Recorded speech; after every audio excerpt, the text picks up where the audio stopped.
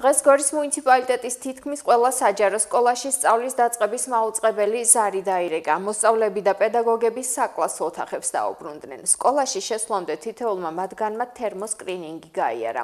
რეგულაციებით მიმდინარეობდა საგაკვეთილო პროცესიც. კორონა პანდემიის ფონზე სკოლის კედლებში განახლებული სასწავლო პროცესი. თემაზე რეპორტაჟი ანა კოსტანაშვილმა მოამზადა.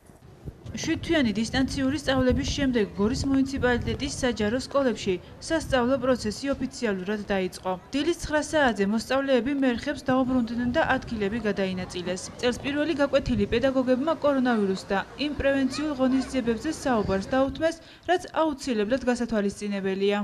პირველ რიგში ძალიან მიხარია რომ დაიწყო სკოლა და ეს სასწავლო პერიოდი ისევ განახლდა ამდენი ხნის შემდეგ ძალიან დიდი პაუზა გქონდა.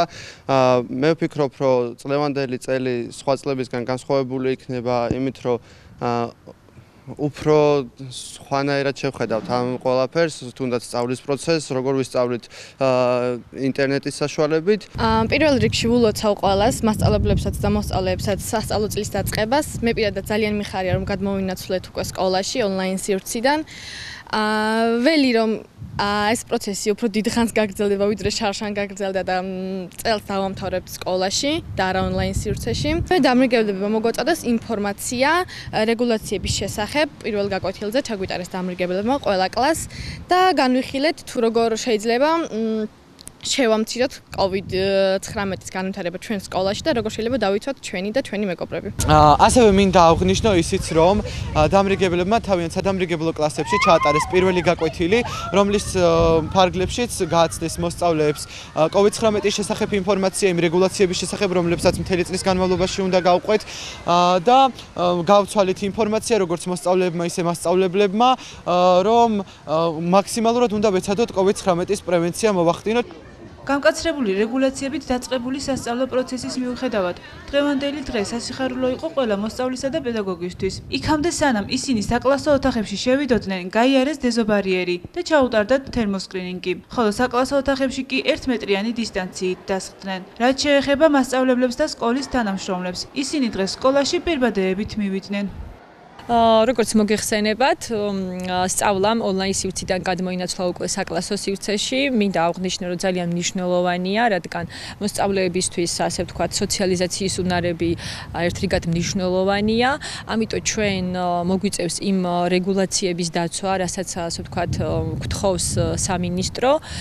შესაბამისად, სკოლა მზად, ასე ვთქვათ, ყველანაირად მზად შეხვდა ამ პროცესებს. 1 ოქტომბერს დღეს მოსწავლეები ისევ დაუბრუნდნენ საკლასო ოთახებს და შეიძლება ითქვას, რომ მეათე საჯარო სკოლა ამ ახალი პანდემიის პირობებიდან გამომდინარე და ყველა იმ რეგულაციების გათვალისწინებით, რაც ჯანდაცვის სამინისტრომ და განათლების სამინისტრომ დაადგინეს, ყველა ამ რეგულაციებს მომზადებული შეხვდა.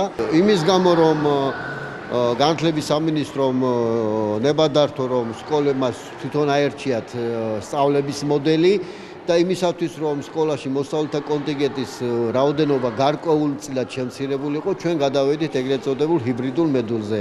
რაც იმას ნიშნავს რომ ნაწილი კლასები ისწავლიან ერთ დღეს ნაწილი კლასები დისტანციურად ისწავლიან სასწავლო პროცესი არ გაგრძელდა გორის მუნიციპალიტეტის ორ სკოლაში. შავშების სკოლაში სწავლა კორონავირუსის ორი დადასტურებული შემთხვევის გამო შეჩერდა. ხოლო რაც შეეხება მეოთხე საჯარო სკოლას, აქ სწავლა მიმდინარე სარეაბილიტაციო სამუშაოების გამო დისტანციურ რეჟიმში გაგრძელდება. მოგეხსენებათ დღეს ქალაქის საჯარო სკოლებში სასწავლო პროცესმა გადაინაცვლა უკვე სკოლის შენობებში, საკლასო ოთახებში, აქამდე იყვნენ დისტანციურად 15 სექტემბრის შემდეგ. ქალაქში ყველა საჯარო სკოლა გარდა მეოთხე საჯარო სკოლისა უკვე შევიდა საკლასო ოთახებში. მეოთხე სკოლაში სველი წერტილების რეაბილიტაცია დასრულდება თუ არა. მეოთხე სკოლაც უკვე დაუბრუნდება თავის შენობას.